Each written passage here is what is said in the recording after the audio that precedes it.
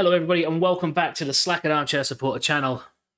It is Euro 2024. It's actually my first stream of this tournament.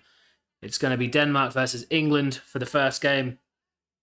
And this is the second match of Group C. And yeah, England take on Denmark, a repeat of the semi final of the last Euros. And well, we know how that ended for England, getting beaten against Italy.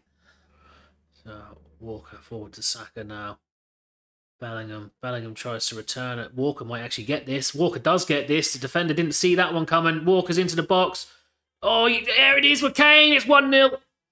Harry Kane opens the scoring 1 0. It couldn't have been any bloody easier. He's passed it into an empty net. England get very lucky there with a few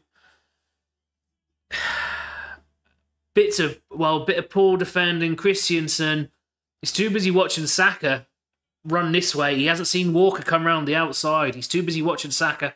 Walker picks it up, walks it into the penalty area. His cutback is deflected into the path of Kane, and Kane just has to pass it into the bottom left hand corner. And it's 1 0 to England. So Denmark again. Long shot. Oh, it's in. What a goal that is by Denmark. Hjulmand. What a strike that is. What a strike. He's about 30, 35 yards out. He just hits one. It's curling away from the centre of the goal and clips the inside of the post as it goes in. Pickford hasn't got a chance.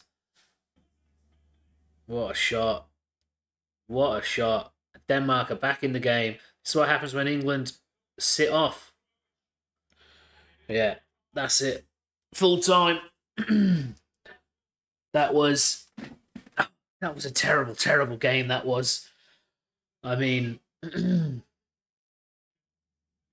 why are the England players all like lying on the floor or crouched down like they've I don't know. They look wrecked.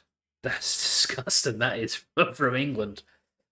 Um, yeah, well, two points dropped, like um, said, for Denmark and England.